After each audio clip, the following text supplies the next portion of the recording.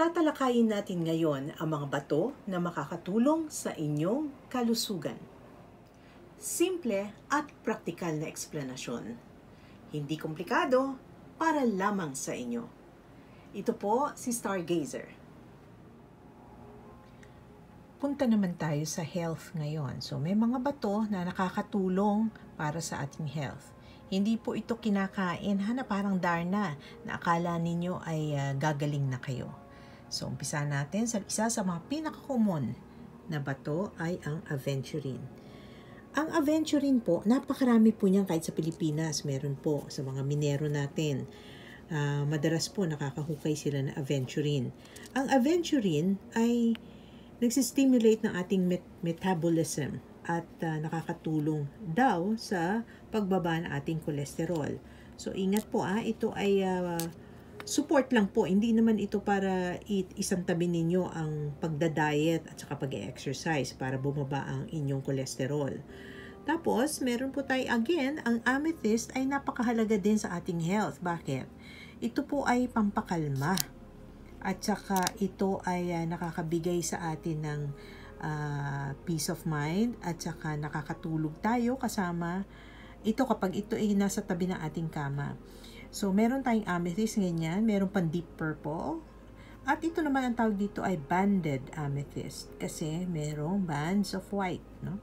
Karamihan yan, ang banded amethyst ay nanggagaling sa Canada. Ito po ang tinatawag na green zebra jasper. Marami po sa atin, lalo na yung may mga edad na, nawawala ng libido, pero ito po ay nakakatulong sa mga deficiencies sa lower torso. Yan. Vitality. O kaya pag nanghihina, hindi walang lakas ang katawan. So dapat nagsusuot sila nito para mas lumalakas ang kanilang katawan. Ito rin po ang prenite. Ito po. Kasi po, kinombination ko na sa isang uh, bracelet, iba't iba pong bato yan. Ano? Ito ang prenite. Yan. Para may specks of green sa loob. Yan. Kita nyo clear na may green. Ang prenite po ay tawag dyan heal the healer stone. Karamihan po ang gumagamit nga niyan, healers, kasi sila yung naglalabas ng enerhiya at kailangan din nila mabawi. Nandyan din ang property nito na peaceful and calming sa inyo. Yan. Health benefit po niya yan. Nagpapa-relax sa inyo. Ito ang pinaka-common din na bloodstone, mga specks of red makikita po sa sa bato, no? Ito kasi halo-halo din to, may prenite, may ano. Pero ayan po ang bloodstone, makikita niyo may specks of red. Ang bloodstone ay katulad ng kanyang pangalan, ay para sa blood disorders, yung mga may high blood, yan, nagsusuot din yan ng bloodstone. No? Magandang kombinasyon yan, bloodstone, um, amethyst, at saka aventurine. Dito sa kombinasyon na bracelet na ito, meron 3 agate at saka rhyolite. So, hanapin muna natin ang rhyolite. Ayan po ang rhyolite. Ito po, yan. Yung may guhit-guhit na light green. Ito po siya, yan. Ang rhyolite ay also for blood circulation at arthritis. Tapos may combination tayo nito dito sa bracelet na ito. Kinumbay natin with 3 agate. So, ito po ang 3 agate. Yan. Ito po yung rhyolite. Ito, yan. Yung hawak ko.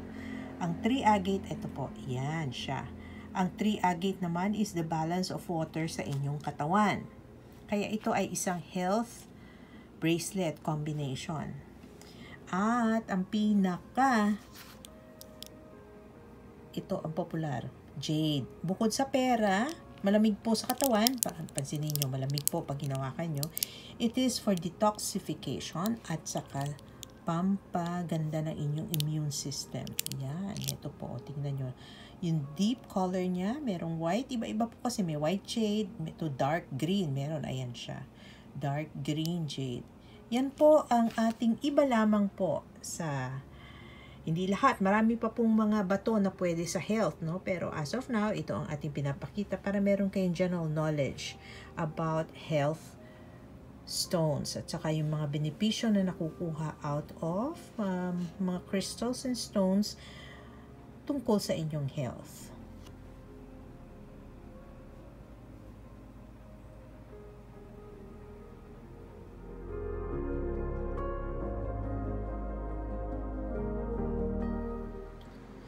Okay, so now, ang pag-uusapan ay tungkol sa iba't ibang combination ng health stones. So, nasa harap natin ngayon ang iba't ibang klase ng mga stones. Some only, ha? Marami pang ibang mga stones na maganda para sa health.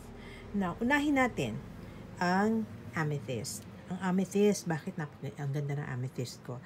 So, this is a AAA type of amethyst and it is known to be parang tranquilizer or something that heals insomnia, nakakatulong magpakalma ng tao, body, mind, and soul. Yan. So, meron pa tayong aventurine. Itong aventurine natin. Yan, aventurine. Yan ay para sa metabolism naman natin. Well, sabi nila weight loss. Eh, pero kung kain ka rin ng kain, hindi ka rin magkakaroon ng weight loss.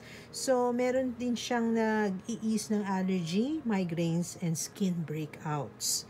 Now, we have bloodstone. Teka, maghahanap tayo ng bloodstone dito. Okay. Kita niyo po yan. Yan. May pula-pula, di ba? So, yan po ay nakaka-purify. Yan siya. Itong magkakatabi na yan.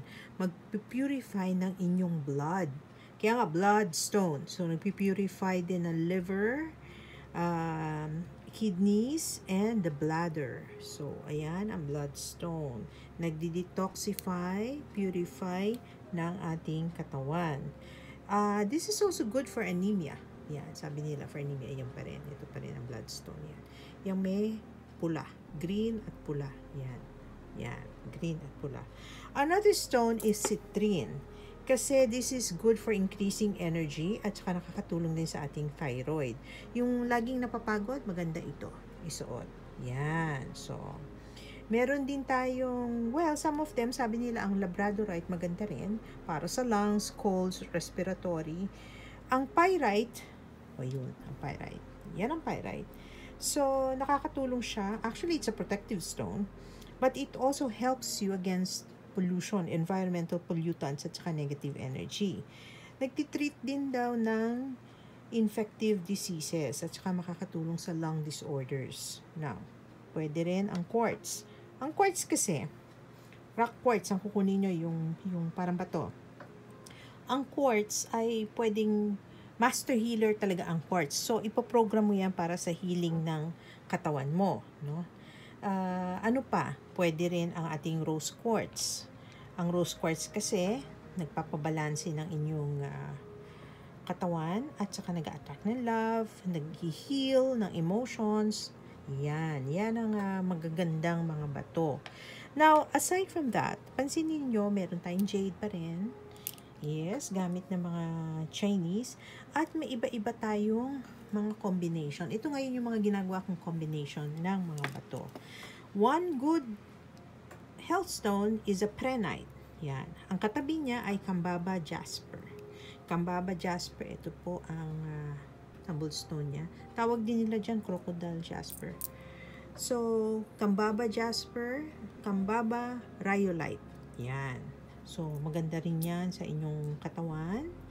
Tapos dito, sinasamahan din ng bloodstone.